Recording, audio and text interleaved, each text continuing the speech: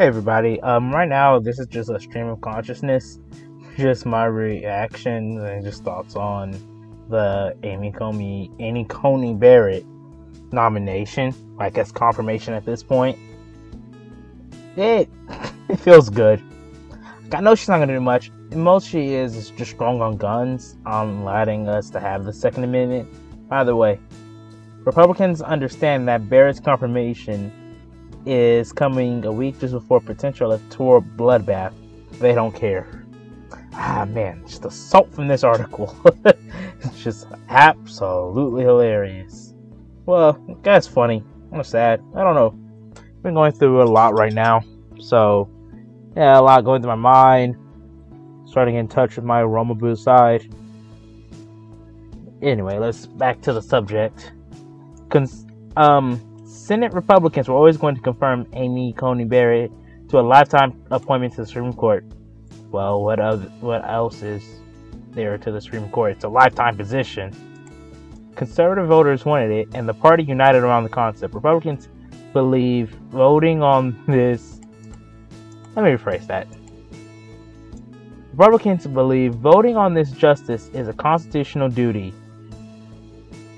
Kinda is. It's explicitly stated that the president nominates and the Senate confirms. And well, the Senate and the House, the Senate and the presidency are of the same party. There's a vacant seat. They kind of have to fill it. Nomination it. Nomination happened. There was time to get it done, so they got it done. Stephen Dunfield, Republican, former senior Senate aide, told me even the highest ranking officials aren't aren't shy about admitting that this may be the party's last class for losing political power for a while. Well, at least they're being honest about it, because I'll be completely honest. I'm a black man, and I can definitely see that Republicans ain't doing ain't doing they ain't doing shit to gain new voters. I mean, you'd be surprised just how much how socially conservative the black community would be. Yet they reject people like Mike Pence, who, for all accounts, they agree on practically everything. But you know, you know, Pence has an R in front of his name, so R means racist. Anyway, Senate Majority Leader Mitch McConnell said during speech yesterday that Democrats won't be able to do much about this for a long time to come. Yeah, can't. It's a lifetime appointment, and Trump put three of them. Still kind of sad that a constitutional appointee is considered a political play all judges are supposed to be constitutional. That's most. That was one of my biggest issues with RBG, and why I was unfortunately smiling when I got the news that she passed. Um, Supreme Court has become the ultimate trophy, a way to maintain influence over federal policy, even though they get voted out of power. I mean, it's a lifetime appointment, and it's not supposed to be political. It's supposed to be constitutionalist, which this yeah. Anyway, I just wanted to talk and just get some of my own emotions out before I take you with me to the bowels of Twitter. Yeah, this is just from the hill. Haunter, Haunter, like what Holy Water was stopped in the notorious RBG, Pish Posh. Her literal dying request that the seat be left vacant until the election. Tom fully prevailed, prevail in NYQ. She takes over the office. I've seen Supernatural, and I thank you very much. This is exactly how one goes about getting themselves haunted. well, my whole thoughts on this simple. This woman is a moron. She doesn't live in reality. The fact that her whole thing is that I have seen Supernatural, a TV show.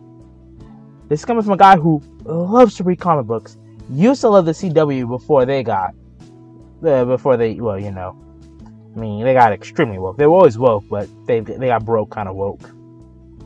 But still, this complete idiot. Yeah, I said idiot.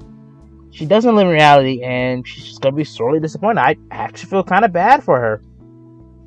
And there's the, then there's this. My prayer, please, Lord, may the spirit of Ruth Bader Ginsburg haunt any GOP justice of SCOTUS if they ever support a rule in favor of any action of RBG herself would consider violation of our, of our rights currently outlined in our Constitution. Okay, a lot to unpack here. First of all, she's praying, she's praying to God, which is something that I feel like this person doesn't believe in God. RBG definitely doesn't believe in God. So why is she praying? And any GOP justice for violation of our constitutional rights current the Constitution. Where? I know what right there's talking about. She's probably talking about abortion rights and uh, um, affordable health care.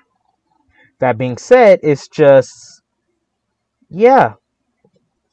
Why are you talking about God with an atheist, someone who doesn't believe in God? And why are you asking for it to haunt?